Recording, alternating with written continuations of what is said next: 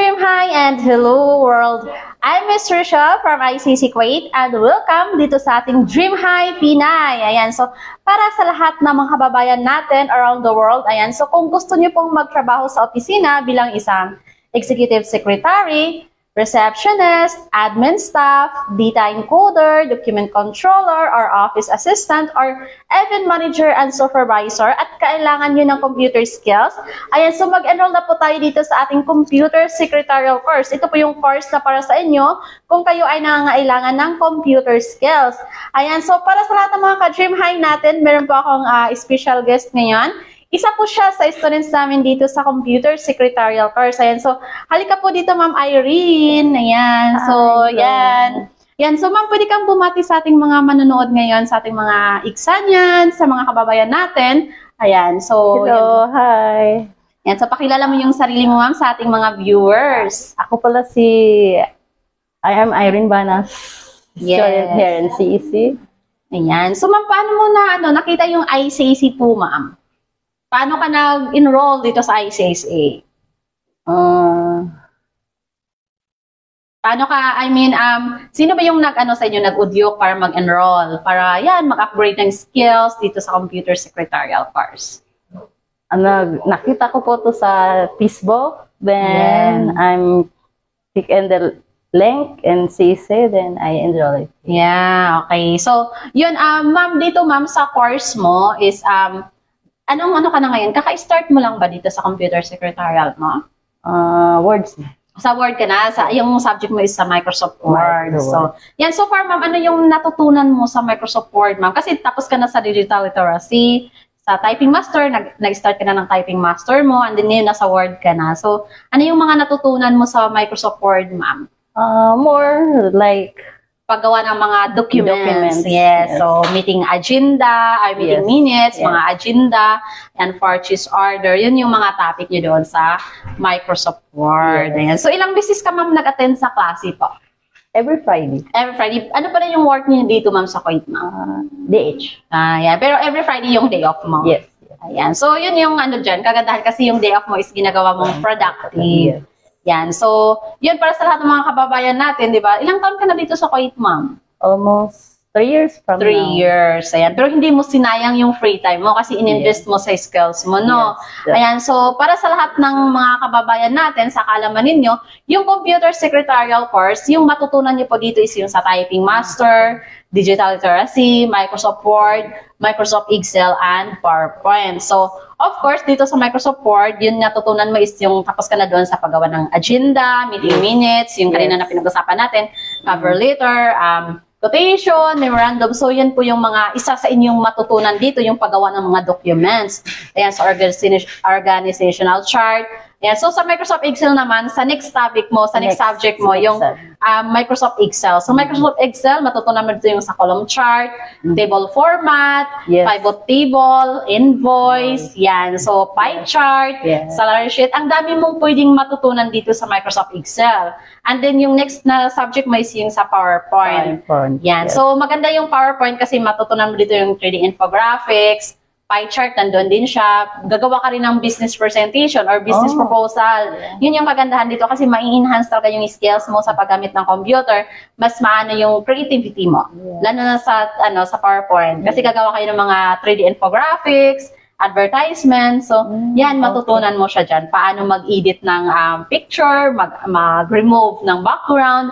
Matutunan mo din siya sa PowerPoint. Ayan. So, yan, ma'am. Um, thank you for taking the first step para mag-enhance ng yung skills dito sa ICAC. Yeah. Ayan. So, ma'am, ano pala yung ano mo, future plan mo? Bakit ka nag-enroll sa computer secretarial?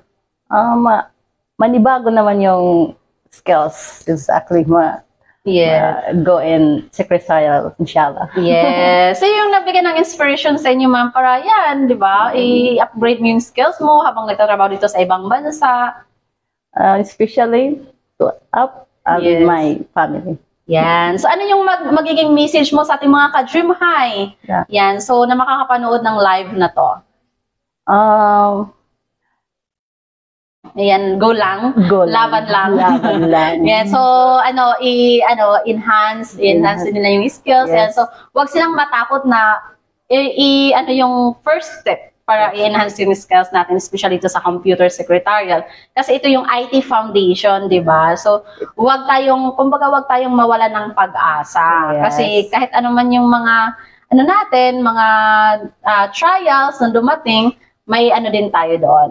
Alam mo yung may positive impact din yun, bakit bakit mo siya napagdaanan. So, Oo. yan, wag lang pong mawalan ng pag-asa. I-grab lang yung opportunity na yan, makapagtapos ka ng pag-aaral, makapag-upgrade ka ng skills mo. Tama. Yan. So, yan. Sa, maraming salamat po, ma'am, sa pagpa-unlock dito sa ating Dream High Pinay. And so, yan. So, congratulations po na hindi mo hinayaan na maging hanggang pangarap lang yung mga pangarap mo. Kasi sinimulan mo siya ngayon. And looking forward na matapos mo yan, yung course mo. And then, Mhm. di ba yun, makapagtrabaho ka ng mas magandang Mas trabaho na mas malaki yung um, kinikita mo. Kasi, Tama. di ba, hindi naman sa ano natin, nagiging ah, grateful naman din tayo kung ano yung work natin. Ngayon, pero Oo. mas iba pa rin yung um, kung ano yung gusto mong gawin. Matupad yung pangarap. Matupad yung mga pangarap mo. Yan. So, yun, kung na-inspire kayo dito sa um, um, journey ni ma'am, ayan, so si ma'am is kasalukuyan pa siyang nag-aaral dito sa ICC, ayan, pero yun, hindi hadlang yung work mo para i-enhance yung skills mo, ayan. So,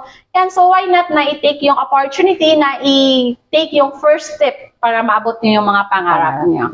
Ayan, lang. so, yes, go lang, laban lang tayo. Ayan, so, maraming opportunity na gaantay sa atin. Kailangan lang talaga natin na i-equip yung sarili natin, Tama. di ba?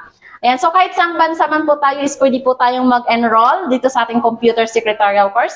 And of course, it is four months lang po siya matapos, ma'am, Yes, di ba? And then, uh, available siya sa face-to-face at online live Online. interactive class via Zoom po yan. So, may ano sila, may option sila kung mag-online sila or mag-face-to-face and then flexible yung schedule ng klase. Yun yung kagandahan maganda. dyan Flexible kasi. flexible siya. So, yun. Ayan, so ang requirements natin upon enrollment is yung civil ID nyo lang, front and back copy, and picture to by to or selfie. Yeah. So, kung walang picture, pwede naman mag-picture dito, Mag-picture, diba? So, ayan, so so far, ma'am, ano yung masasabi mo tungkol sa ICC po, ma'am? Napakaganda ng Uh, ano. Napakaganda ng Programa Program. ng ICC. ICC. Kasi ito is para talaga sa mga kababayan natin, mga Kababayan, OFW na gustong makapag-enroll, makapagtapos ng pag-aaral. pag-aaral. pag-aaral. Yes. Makatupad nila ang mga pangarap nila. Yes, ayan. So, yun. Um, yan, mag-enroll na po tayo dito sa ating computer secretarial course. Open for enrollment po siya. Ayan, so, unang step po para mag-enroll is mag-register kayo sa link na mas makikita niyo dyan sa ating, research, ah, sa ating caption. Ayan, so, i-fill up niyo po yan and isend niyo po yan sa aming WhatsApp or i-message niyo kami sa aming WhatsApp para mas madali po namin kayong ma-response, ma-replyan kasi ma- more on WhatsApp din po kami. So, yun. Um, yan, wag na po tayo magpapahuli pa. Mag-enroll na po tayo. Mag-enroll Ayan, so tawag na po.